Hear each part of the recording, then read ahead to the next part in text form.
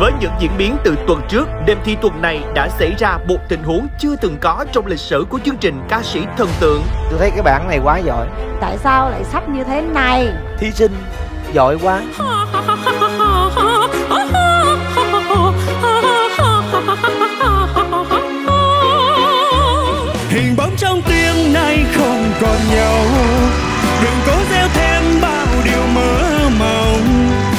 trái tim vỡ tan cuộc tình ta đã xa thì yêu nhau chỉ càng thêm đớn đau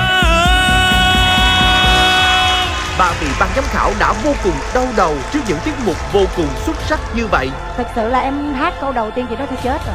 Vì anh là một đạo diễn cho nên anh cũng không muốn người ta đoán quá sớm về kết cục của một bộ phim.